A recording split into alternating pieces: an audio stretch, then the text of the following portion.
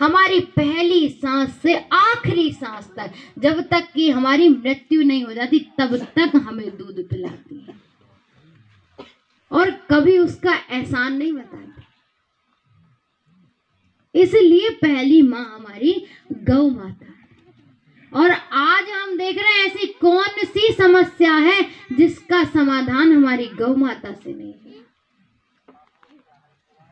और इस स्थान पर ये स्थान इतना पावन है इसकी महिमा का वखान अपनी वाणी के द्वारा तो असंभव है।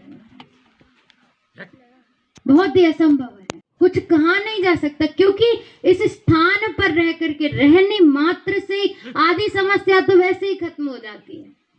प्रत्यक्ष प्रमाण है हमारी माता जी उनको दमा की बड़ी समस्या है। परंतु इस स्थान पर आने के बाद आधी समस्या खत्म। अभी तक घर में रहती तो थोड़ा बहुत कुछ काम किया तो समझो सांस उनकी बढ़ने लगी। और कहती, अब तो हम कुछ नहीं कर सकते। और यहाँ तो आनंदी से बढ़िया माता जी के साथ भोजन प्रसादी बना रही है, सबको प्रेम से खिला रही है। तो ये इस स्थान का प्रभाव है। ये उदाहरण हमारे सामने था, इसलिए हमने आपको बतलाया कि यहाँ पर रह करके आपकी आधी समस्या खत्म।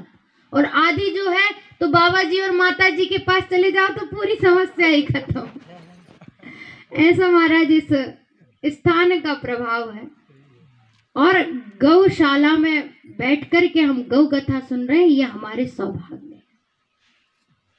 हमारे जीवन की भी ये पहली कथा है, जो गौशाला में बैठ कर के हम अपने श्रोताओं को सुना रहे हैं।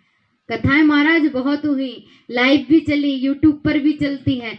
सब कुछ होता है अच्छी अच्छी व्यवस्थाएँ होती हैं, पर आनंद जो यहाँ बैठकर कथा कहने में है, वो आज तक तो हमें नहीं मिला। ये पहली बार का हमारा अनुभव है। अच्छा पहली माता तो जान ली। अब दूसरी माता कौन सी है? तो कहा, भैया, गौ कथा में ऐसा वर्णन आता है कि पहली माता तो हमारी गौ माता है पर जो दूसरी माँ हमारी है, वो दूसरी माँ हमारी आती हैं। अब ये माताएँ ये सोच रही होंगी, अब हमारा नंबर आ गया। क्योंकि हमने इस संसार में जिस व्यक्ति को लेकर के आए हैं तो अब हमारा ही नंबर होगा। क्योंकि नौ माताएँ हैं, पहली माँ तो गौ माता, अब दूसरी माँ कौन सी है? तो यहाँ पर गौ कथा में वर्णन आता है कि जो दूसरे नंबर पर है वो माँ है धरती माता। जन्म देने वाली माता का नंबर भी दूसरा नहीं है। क्योंकि जन्म तो माँ दे देगी, पर उसके बाद इस संसार में माँ कब तक रहेगी, जब तक उसकी उम्र है तब तक साथ रहेगी। उसके बाद हमें छोड़कर चली जाएगी तो फिर हमारा लालन पालन कौन करेगा? कौन करेगा महाराज? फिर हमारा जो पालन पोषण करने वाली माँ है तो वो है धरती माता। इसलिए भगवान श्री कृष्ण कह रहे हैं कि दूसरी माता जो है, वो है धरती इसके द्वारा ही हमें अन्न की प्राप्ति होती है। धरती माता के द्वारा ही हम अपने पेट को आज भर पा रहे हैं। जो प्रसादी हम पा रहे हैं, वो धरती माता की देन है। अच्छा एक बात यहाँ पर देखी जाए कि इस माँ में कितनी सहनशीलता है, जिसके ऊपर रह कर के हम कितना पाप कर रहे हैं, मलमूत्र का त्याग कर रहे उसके बाद भी ये सहन कर रही है।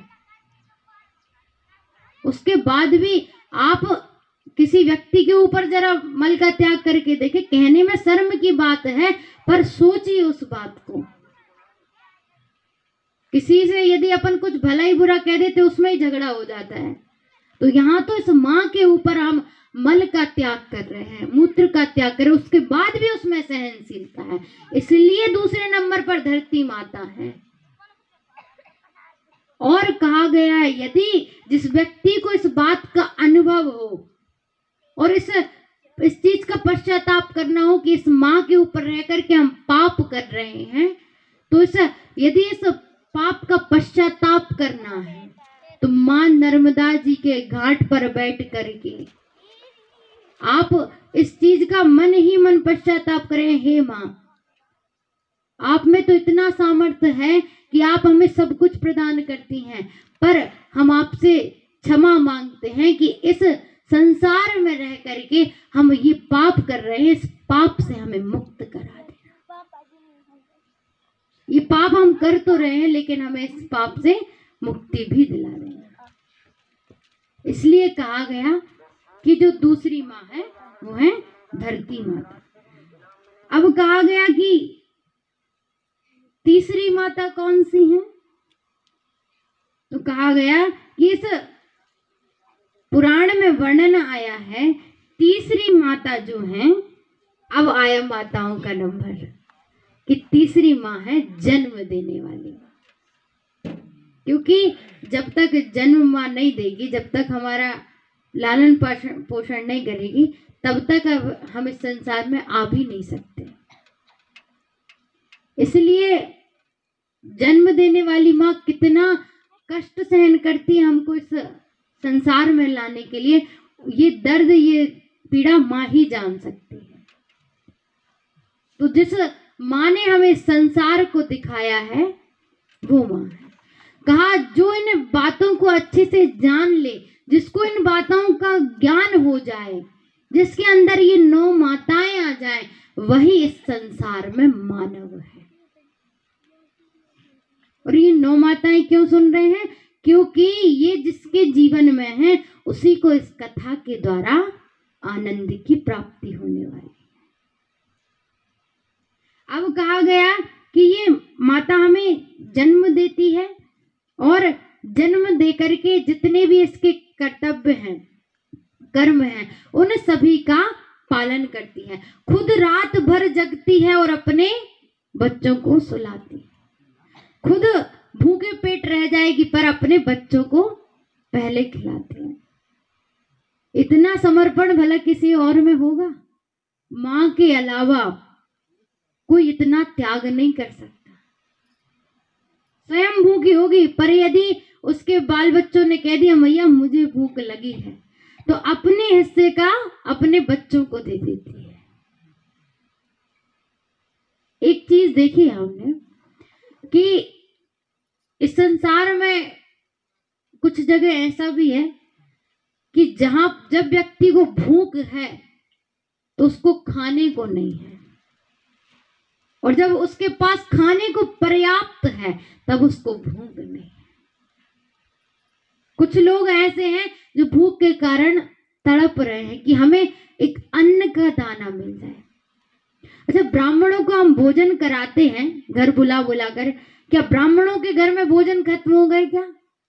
अन्न समाप्त हो गया तो दूसरों के घर में खाने जाते हैं। ऐसा नहीं है। ब्राह्मणों को यदि भोज कराया जाता है तो इससे केवल एक ज्ञान हमें प्राप्त होता है। आप देखना, ब्राह्मणों को भोजन करते हुए जब भी भोजन करेंगे, थाल, थाली में एक अन्न का दाना नहीं छोड़ते। पूरी थाली को ऐसे साफ़ कर देते जैसे हम जब थाली को मांजते हैं मांज कर साफ़ करते हैं, जैसी थाली चमक जाती, वैसे ब्राह्मण संत भोजन किया करते हैं। क्योंकि अन्न की कीमत वही जान सकता है जिसने एक रात, एक दिन भूख के कारण बिताई हो। और जिनको पर्याप्त मिलता है, वो अन्न की मूल्य नहीं समझता।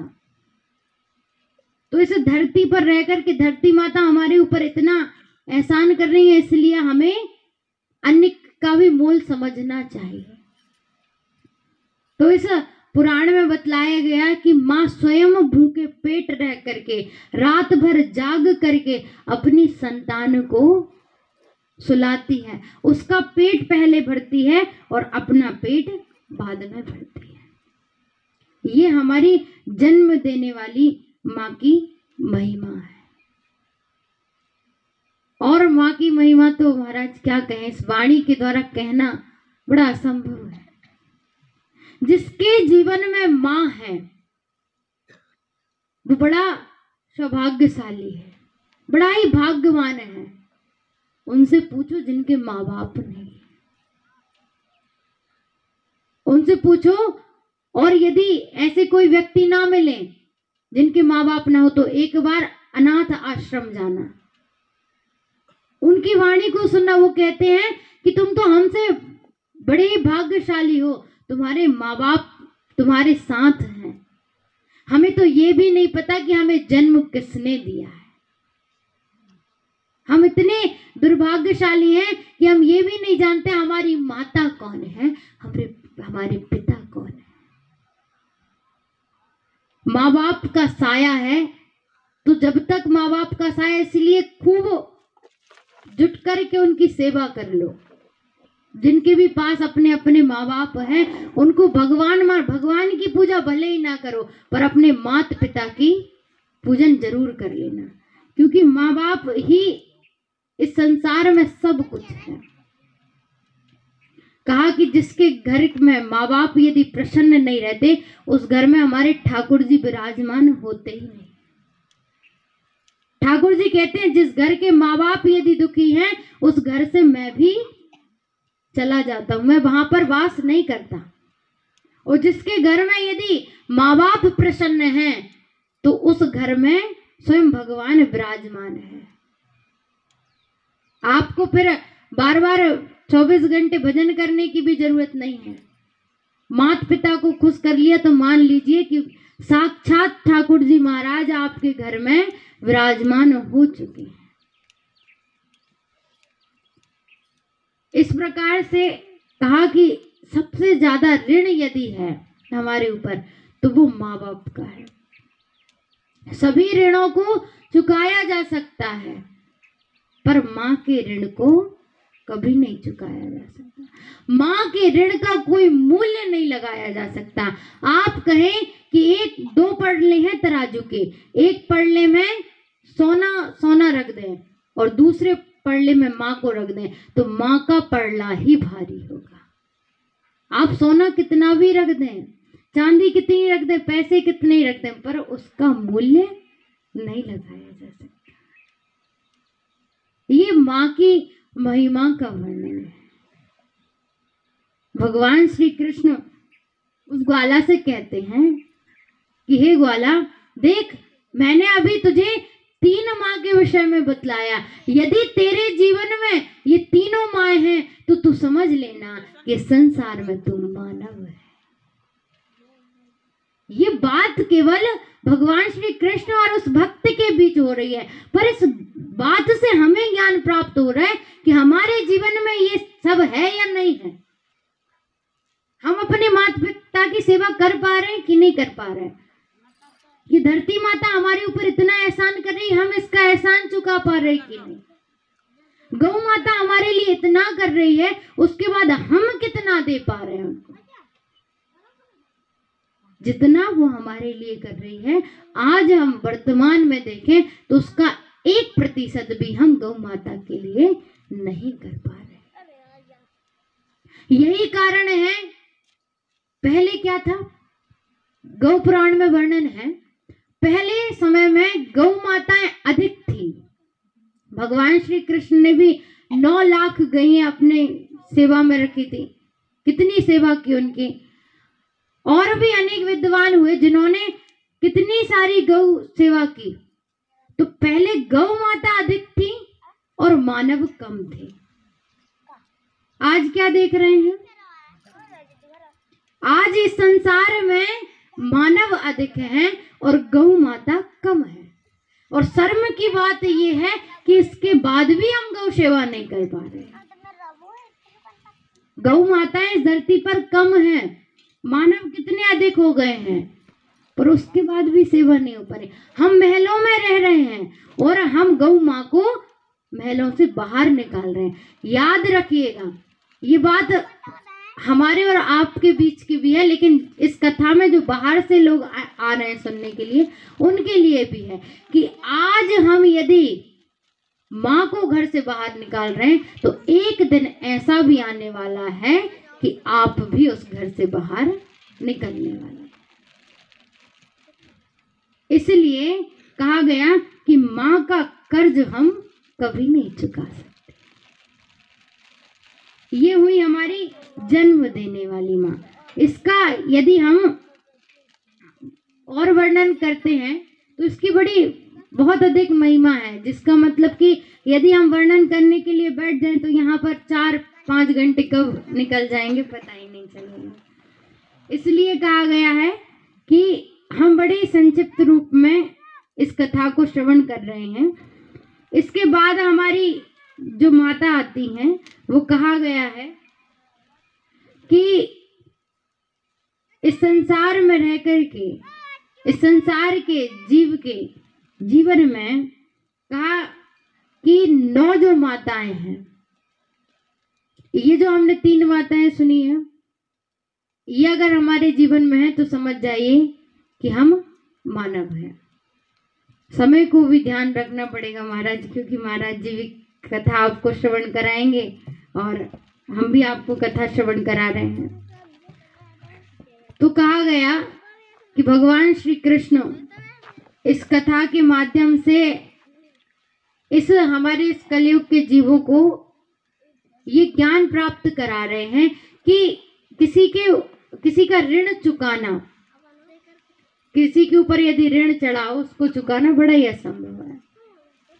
और इतनी आसानी से कहा कि पहले क्या हुआ करता था? पहले के लोग यदि कर्जा लेना होता था, कर्जा किसी से लेना होता था तो मूछ के बाल को गिरवी रखते थे। किसके? मूछ के बाल को गिरवी रखते थे कि भैया, हमें आपसे इतना कर्जा चाहिए है, हम ये अपना बाल तुम्हारे पास गिरवी रख के जा रहे हैं जब हमारे पास उतना पैसा हो जाएगा तो हम इसको उठाकर ले जाए। अब कहा, मूछ के बाल को गिरवी क्यों रखते थे कहा, भाई, ये जो मूछ होती है ना, ये हमारी इज़्ज़त होती है, ये शान होती है। आप यदि इसको झूठ माने तो आप पुराण में जाकर के देखें एक बार।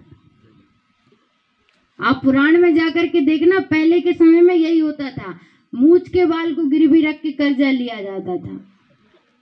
तो कहा कि एक बार एक बंजारा गया एक महान संत जी के पास और कहा, महाराज जी, और एक बात और, संत महाराज को ये नहीं समझना कि इनके पास कुछ नहीं होता। यदि जो कुछ भी चाहिए तो सब कुछ संत महाराज के पास ही मिलता है।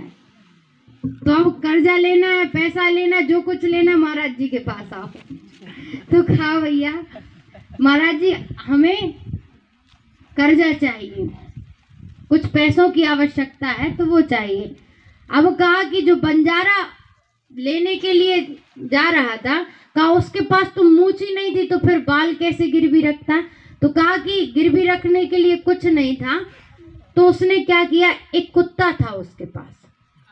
उस कुत्ते को लेकर के वो गया, कहा कि कुत्ते को गिरवी रखेगा। महाराज जी के पास गए, और आज भी हम वर्तमान में यही करते हैं, कुछ कर्जा लेना हो तो हम कुछ पहले गिरवी रखते हैं उसके बाद हमें पैसे मिलते हैं।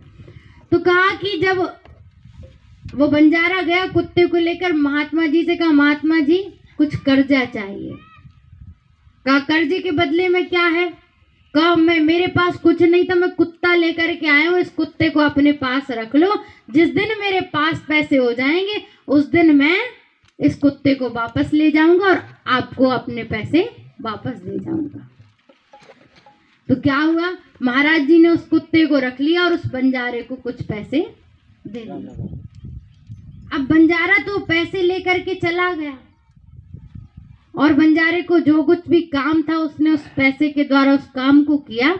और अब निरंतर अपने काम में लगा रहता। अब जो महाराज जी से पैसे लेकर आया था, उनको जोड़ने में लग गया। उनको जोड़ रहा था कि चलो महाराज जी को से जो कर्जा लिया है, उसको चुकाना है। एक दिन की बात।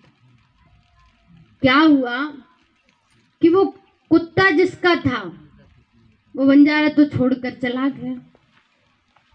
अब लेकिन कहते हैं कि जानवर भी हमसे ज़्यादा समझदार होते हैं। इंसानों से ज़्यादा यदि समझदारी है आजकल तो जानवरों में तो वो कुत्ता क्या किया? जिस रस्सी में बंधा था, उस रस्सी से बार बार छूट करके भाग रहा था।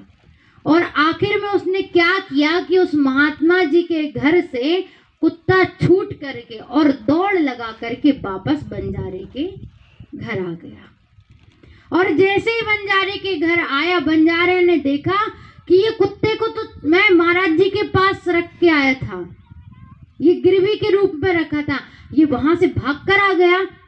बंजारे ने बिना सोचे समझे एक लाठी को उठाया और उस कुत्ते को मारना शुरू किया। इतना मारा इतना मारा इतना मारा कि कुत्ते का वहीं प्राणांत हो गया और कुत्ता मर गया। अब उसके बाद जैसे ही कुत्ता मरा, और कुत्ते के गले में क्या होती है? एक पट्टी बंधी होती है। तो उस पट्टी में एक चिट्ठी बंधी हुई थी, एक कागज़ बंधा हुआ था। तो उस चिट्ठी को उस कुत्ते के मरने के बाद उस बंजारे ने उस चिट्ठी को निकाला कुत्ते की पट्टी से और देखा कि उसमें क्या लिखा है। तो बंजारा क्या पढ़ रहा है? उस चिट्ठी में लिखा है और वो महाराज जी की राइटिंग है जिसमें लिखा हुआ है। क्या क्या पढ़ता है? कि, हे बंजारा, कहा जो कुत्ता तू मेरे पास छोड़ कर के गया था, उस कुत्ते को मैं तुझे तेरे पास छोड़ रहा हूँ। क्यों? कहा, एक दिन की बात है, मेरे घर में जितना भी सामान था, वो चोरी हो गया था। और चोरी हुआ तो जो चोर लेकर के गए थे, उन्होंने गुफा के अंदर रख दिया था। और जब गुफा के अंदर रखा तो कहा, हम तो रात्रि में सो रहे थे, नहीं देख पाए। कहा, पर इंसान रात्रि में सो जाता है, पर कुत्ते रात्रि में जागते हैं। तो कहा कि इस कुत्ते ने देख लिया कि चोर कहाँ ले जाकर चोरों ने सामान रखा और इसने हमें बता दिया। तो कहा, जो कुत्ता तू मुझे देकर गया था, आज कुत्ते के कारण हम लुटने से बच गए। हमारा सामान हमें वापस मिल गया। इस खुशी में हम इस कुत्ते को तुम्हारे पास छोड़ रहे हैं। तो जैसे ही उस बंजारे ने उस चिट्ठी को पढ़ा, पर बंजारे के दिमाग में क्या था? कि मैं तो महात्मा जी के पास इसे छोड़ कर आया था। मैंने अभी कर्जा नहीं चुकाया और ये कुत्ता भाग कर आ गया। अब जब कुत्ते मर चुका कुत्ता, तब बंजारा उसका पश्चाताप कर अब कहा कि क्या करूँ? मुझसे तो ये बहुत बड़ा पाप हो गया। तो बंजारे ने विचार किया कि गाँव के कुछ लोगों को बुलाया जाए। गाँव के लोगों को बुलाया गया, बिठाया गया और कहा गया, बंजारा कहता है, भैया, मुझसे एक बड़ा पाप हो गया। कहा, क्या पाप हो गया? कहा कि, ये जो कुत्ता था, कहा ऐसे में महात्मा जी के पास गिरवी रख के आया था। पर कहा, गिरवी रखा, लेकिन ये कुत्ता भाग कर आया तो मुझे लगा कि ये महात्मा जी के पास से भाग आया है और मैंने अभी तक कर्जा नहीं चुकाया। तो जैसे ही कहा कि मैंने ये विचार लाया और मैंने इसे मारा तो इसका प्राणांत हो गया। ये मर गया। अब इस अपराध की मुझे क्या सजा मिले, आप लोग इसका निर्णय करें। गाँव के बड़े बड़े विद्वान एकत्रित थे। उन्होंने कहा, महात्मा जी, यदि आपको इस बात का पश्चाताप है, आपने एक निर्दोष को मारा है तो आप एक काम करिए जिस स्थान पर कुत्ता मरा है उस स्थान पर उसकी समाधि बना दीजिए। तो उस बंजारे ने क्या किया? एक गड्ढा खोदा जहाँ पर कुत्ता मरा उसी स्थान पर उस कुत्ते को समाधि दी। अब यहाँ पर कहा कि जिस स्थान पर उस कुत्ते को समाधि दी उस स्थान का नाम क्या पड़ा? तो ये कथा में वर्णन आता है, जिस स्थान पर कुत्ते को समाधि दी गई, उस स्थान का नाम है कुकुरा मठ क्या नाम है? शायद आप परिक्रमा में जब आप लोग जाते हैं तो नर्मदा परिक्रमा में शायद वो स्थान आता भी है कुकुरा मठ उसी स्थान की ये कथा का वर्णन है कि जिस स्थान पर कुत्ते को समाधि दी गई। तो महाराज, ऐसा होता है कि यदि हमसे कोई पाप हो जाए, कोई अपराध हो जाए, हमें उस बात का ज्ञान ना हो कि इस अपराध की क्या सजा है, क्या दंड है। तो इसके लिए हमें विद्वानों द्वारा इसका मार्गदर्शन लेना चाहिए। और आज कहा जाता है कि उसी कुकुरा मठ में एक शिवलिंग विराजमान है। भगवान भोलेनाथ की उस शिवलिंग पर अमावस्या की रात में एक लाल रंग का सांप आता है। और उस शिवलिंग के ऊपर आकर के लिपट जाता है। ये दृश्य यदि किसी को देखना हो तो उस स्थान पर कुकुरा मठ में रात्रि व्यतीत करें अमावस्या की रात में। तो कहा कि ये जो सांप आता है, ऐसा माना जाता है कि उसके अंदर साक्षात भगवान विराजमान रहते हैं और वो हमें अमावस्या की रात में दर्शन देने के लिए आते हैं। तो आज भी हमें ये प्रमाण मिल रहे हैं कि भगवान की, हमारी माँ की कितनी महिमा है। तो इस प्रकार से कथाओं का वर्णन हमें देखने को प्राप्त हो रहा है। कहा, जिसके ऊपर माँ की कृपा बनी रहती है, संत महाराज की कृपा बनी रहती है, कहा, उसका बड़े से बड़ा दुश्मन भी, बाल भी बांका नहीं कर सकता। भले ही आपके जीवन में आपका कितना भी बड़ा दुश्मन आ जाए, लेकिन यदि आपके ऊपर इन माओ की कृपा है, गौ माता की कृपा है तो आप समझ जाना कि आपका कोई कुछ बिगाड़ने वाला नहीं। और ऐसा कहा जाता है कि यदि आपसे आपके जीवन में बहुत अधिक पाप हो जाए। पाप कैसे? छोटे मोटे पाप तो सभी जीवन में करते रहते हैं, पर कभी गौ हत्या लग जाए। क्या हो जाए? गौ हत्या लग जाए।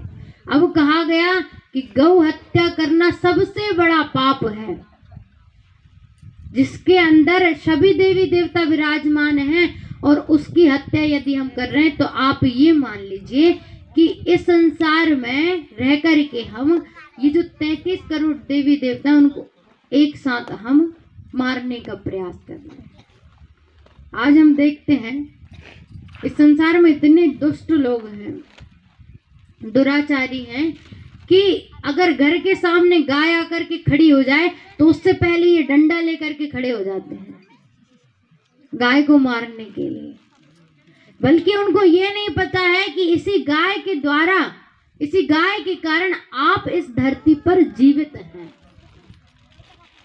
बिना दूध की चाय पी के बताएँ, तब जाने। बिना दूध की चाय नहीं पी सकते।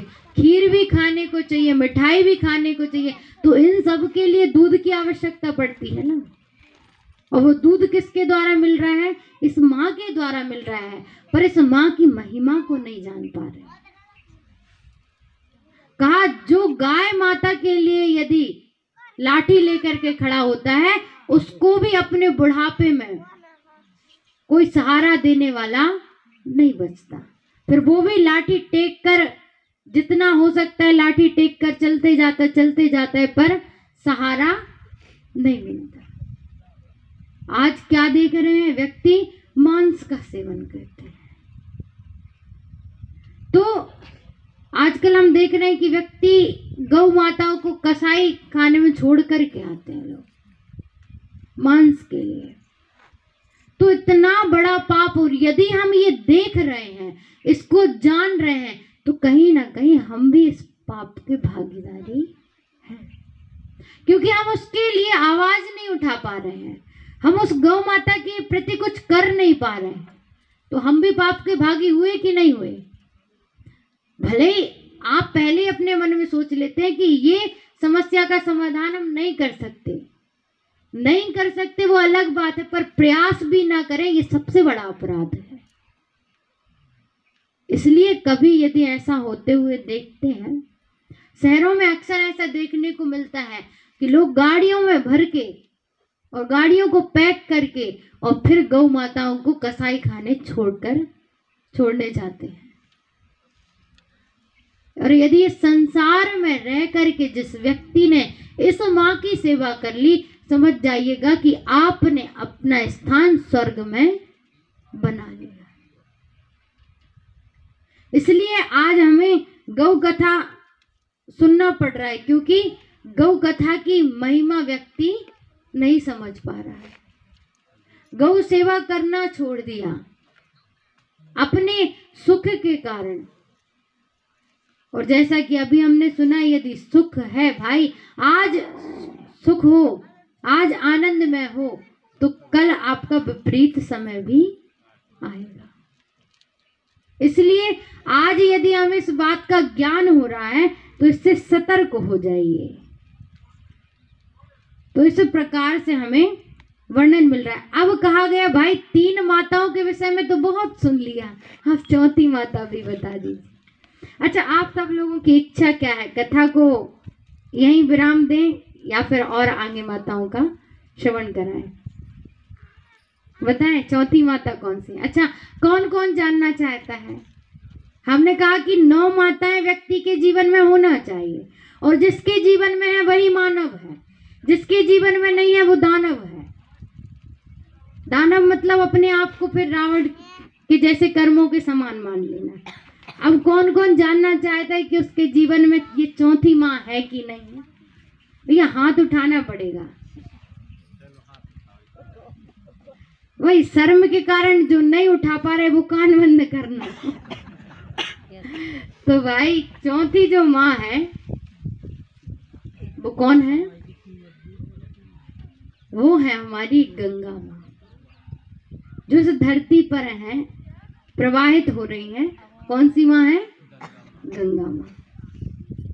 पहली माता थी गौ माता, दूसरी माँ धरती माता, तीसरी माँ। अरे बोलना पड़ेगा ये सही नहीं। कौन सी माँ तीसरी? जन्म देने वाली माँ। और चौथी माता कौन सी है? गंगा माँ। जो आज